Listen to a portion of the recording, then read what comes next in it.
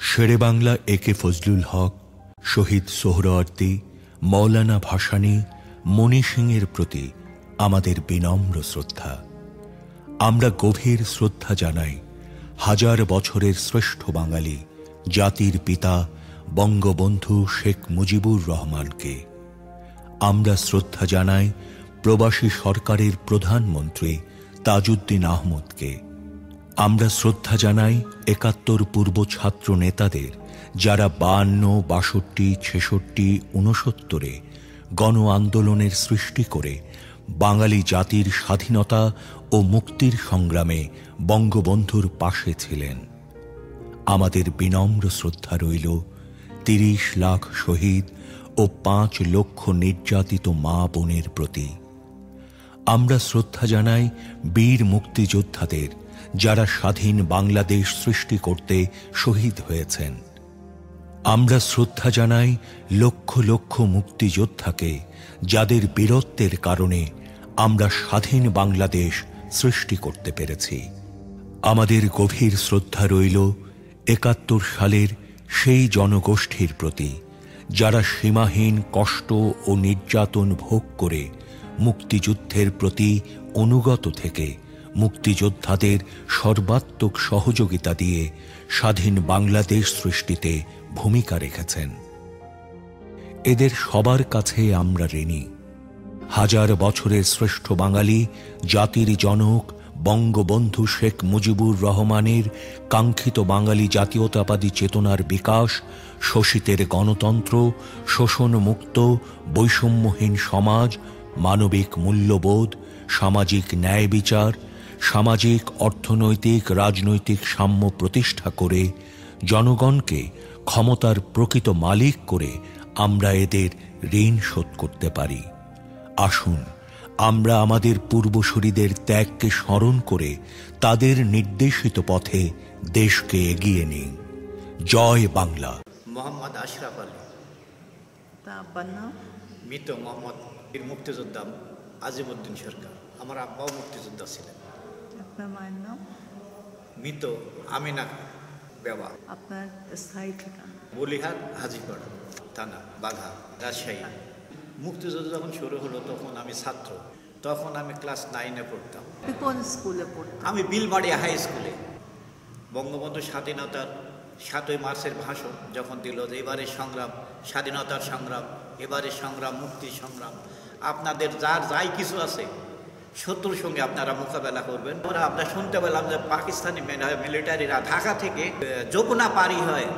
এইবারে নগরবাড়ি ঘাট যখন ফেরিতে প্রবেশ করছে, তখন আমরা সেখানে গেলাম পাকিস্তানি বাহিনীর সঙ্গে যুদ্ধ করতে, প্রতিবাদ করতে। ওদের কাছে আমরা টিকতে পারলাম না গুলির, গোলাগুলির ইয়েতে। আমরা পালায় চলে আসি। পালায় চলে আসি, আমি ভারতে চলে যাই। ভারতে প্রথম আমি ভর্তি হই নন্দীভিটা। ওখানে একটা ক্যাম্প, মুক্তিযোদ্ধা ক্যাম্প। আচ্ছা ওই ক্যাম্পে বেশ কিছুদিন, প্রায় দশ পনেরো দিন থাকার পর আমরা আসি পানিপেয়া। পানিপেয়া ক্যাম্পে ছিল আরে শর্মা, সেনাবাহিনী, ইন্ডিয়ান মারাঠা। পরে ওখান থেকে আমাদের আবার হাই ট্রেনে প্রশিক্ষণ নিয়ে বিহার প্রদেশ, বীরভূম জেলা চাকুরিয়া বিমানবন্দর। ভারতীয় সেনাবাহিনীরা আমাদের প্রশিক্ষণ নেওয়ালো ধরুন এইসি থার্টি সিক্স হ্যান্ড গ্রেনেড তারপরে three naught three rifle SMG sub machine gun LMG light machine gun তারপরে SLR anti tank mine dynamite এগুলো আমরা প্রশিক্ষণ ইন্ডিয়ান সেনাবাহিনীরা আমাদের করালো। ট্রেনিং শেষে চলে আসলাম লালগুলা। এটা হলো সেভেন সেক্টর এই সেক্টরের পরিচালক ছিলেন লেফটেন্যান্ট কর্নেল কাজী নুরুজ্জামান। লালগোলা আমাদের সাব সেক্টর কমান্ডার ছিল মেজর গিয়াসুদ্দিন চৌধুরী। ওনার হাওলায় চলে আসলাম। আমাদের যুদ্ধচালীন কমান্ডার আমার জাব্বার ভাই ছিলেন। উনিও ছাত্র, আমাদের একটু সিনিয়র লালগোলা এসে আমাদের তখন অস্ত্র, আমাদের নামে অস্ত্র ইস্যু হলো। আমার কাছে ছিল এসএমজি সাব মেশিন গান বলা হয়। অস্ত্র নিয়ে প্রথম আমার হিট হলো সোনা মসজিদ ইস্ট বেঙ্গল রেজিমেন্ট ইপিআরের লোক ছিল। তারপরে পুলিশ এবং আমরা ফ্রিডম ফাইটার আমরা সমগ্রভাবে লালগোলা থেকে আমরা ইয়ে করি আপনার ওই সোনা মসজিদ বলে একটা নদীর এই পারে। সোনা মসজিদ আক্রমণ করে রাত্রে। আক্রমণ করার পর বেশ কিছু পাকিস্তানি সেনাবাহিনীরা হতাহত হয়। আমরা ওখান থেকে চলে যাই লালগোলা। এইভাবে আমরা আসা যাওয়া করতাম। ওখান থেকে চলে আসলাম আপনার পার হয়ে এই পারে। এই পার পার হয়ে আসে বিলবাড়িয়া রাজাকার ক্যাম্প। ওখানে আমরা হিট করলাম। তারপর লালপুর থানা রাজাকার ক্যাম্প। ওখানে আমরা হিট করলাম। অনেক অস্ত্রপাতিও পাইলাম। যাক, অস্ত্রপাতি নিয়ে আমরা আবার চলে গেলাম ভারতে। আমরা ওই অস্ত্রপাতি যেগুলো পাইছি, এ দেশেরই অনেক সন্তান ছিল, যুবক। তারা আমরা ওই দিয়ে আমরা তাদের হাতে দিতাম, দিয়ে আমাদের দল ভারী করতাম। যে না, আমার সঙ্গে আসো, তাহলে আমরা লোকজন একটু বেশি হব। পরবর্তীতে এক তারিখে আমরা গোপালপুর যে সুগার মিল আছে, গোপালপুর সুগার মিল আমরা হেঁটে ওখানে পাকিস্তানের সেনাবাহিনীরা থাকতো। আমরা যাইব। কিন্তু দুঃখের বিষয়, ওখানে যাওয়ার পর আমরা আশ্রয় নিলাম। আপনার ওই হলো মহেশপুর এক গ্রাম। ওখানে এক পিস কমিটি অর্থাৎ শান্তি কমিটির বাড়ি ছিল। উনি পাকিস্তানি হানাদার বাহিনীর মানে দালাল। ওর বাড়িতে গেলাম, বাড়িতে যায়, উনি পলাতো পলাইছে। যায় দেখি বাড়ির ভিতরে ব্যাংকার হ্যাঁ মরিচা কাটা বাংকারে ওই আমরা বাংকার ভাঙলাম, ভাঙার পর আল্লাহর কি কাম? ওই ওখানে আমরা আশ্রয় নিলাম, রাত্রিরে ওখানেই থাকলাম। থাকার ভোর রাত্রিরে আসি, পাকিস্তানের মিলিটারিরা পুরা গ্রাম ঘিরছে। গ্রাম যখন ঘিরে লাই তখন আমরা দেখছি আমাদের তো হাতিয়ার, ধরেন ওদের চেয়ে আমরা, ওদের উন্নত মানের হাতিয়ার। আর আমাদের হাতিয়ার তো ওনা একটু নর্মাল ওনার সঙ্গে আমরা পাড়ি উঠতাম না। তাও আমরা বিভিন্নভাবে আমরা পজিশন নিয়ে ওদের সঙ্গে গুলাগুলি করি। গুলাগুলি করার পর আমরা দেখছি, না, আমরা যতই গুলি করি, ওরা আগের দিকে অ্যাডভান্স করে আর ইয়া আলী ইয়া আলী, খুব আলীর নাম টানে। আমরা তো এখান তো আমরা টিকতে পারব না, অর্থাৎ ওদের গুলির আঘাতে তো আমরা মারা যাব। বাধ্য হয়ে আমরা ওখান থেকে পলাতে হ্যাঁ? ওখান থেকে পলাই আমরা রোলিং করি। বাড়ি ওখানে একটা বাড়ি ছিল, ওই বাড়ির পাশে গেলাম, যাওয়ার পর দেখছি উত্তরের দিকে এক মাঠ, ওই মাঠে নামলাম।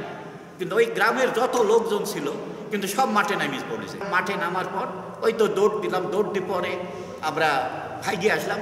পরে যখন ভারত আমাদের স্বীকৃতি দিল বাংলাদেশকে, স্বীকৃতি দেওয়ার পর ওনারা যৌথভাবে ভারতীয় সেনাবাহিনী এবং আমরা যৌথভাবে তাদের আক্রা আক্রমণ শুরু করি। ষোলোই ডিসেম্বর আমাদের দেশ মুক্ত হয়ে গেল।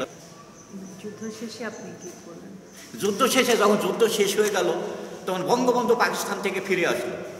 বঙ্গবন্ধু তো পাকিস্তান কারাগারে ছিলেন। তখন আমাদের মুক্তিযোদ্ধাদের একটি সমাবেশ ডাকে ঢাকা ঢাকা রেসকোর্স ময়দান। ওখানে আমরা যাই। আমরা হাতিয়ার সঙ্গে রাজশাহী জোয়া হলে রাজশাহী জোয়া হল আমির আলী হল লতিফ হল এ তিনটি হল। আমির আলী হলে আমাদের মালয়েশিয়া ক্যাম্প করলাম। জোয়া হলে সেনাবাহিনী ছিল। ওখানে ছিল ক্যাপ্টেন গ্যাস। ওনার হাতে আমরা অস্ত্র জমা দিলাম।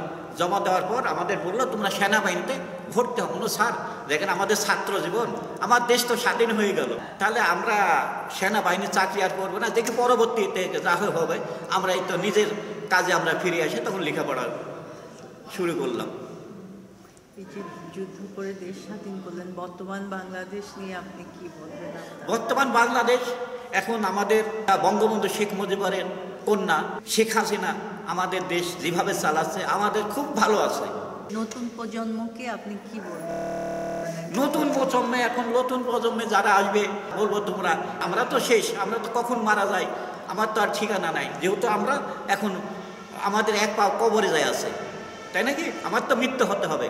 তাহলে আগামী দিন আমার প্রজন্ম, তারা দেশের দিকে দেশের উন্নয়ন ধারার জন্য আরও ভালো হয়, তাদের বলব, এবং দেশ যাতে সুস্থ এবং ভালোভাবে চলে, এই আমার বক্তব্য।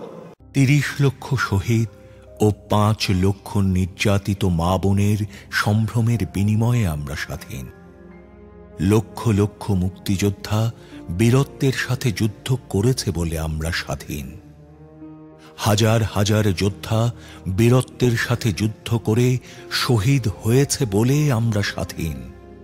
কোটি কোটি লোক আমাদের সমর্থন করতে গিয়ে অবর্ণনীয় দুঃখ কষ্ট সয়েছে বলেই আমরা স্বাধীন। হাজার বছরের শ্রেষ্ঠ বাঙালি, জাতির জনক, বঙ্গবন্ধু শেখ মুজিবুর রহমানের কাঙ্ক্ষিত বাঙালি জাতীয়তাবাদী চেতনার বিকাশ শোষিতের গণতন্ত্র, শোষণমুক্ত বৈষম্যহীন সমাজ, মানবিক মূল্যবোধ, সামাজিক ন্যায় বিচার, সামাজিক অর্থনৈতিক, রাজনৈতিক সাম্য প্রতিষ্ঠা করে জনগণকে ক্ষমতার প্রকৃত মালিক করে আমরা এদের ঋণ শোধ করতে পারি। আসুন, আমরা আমাদের পূর্বসূরিদের ত্যাগকে স্মরণ করে তাদের নির্দেশিত পথে দেশকে এগিয়ে নেই। জয় বাংলা।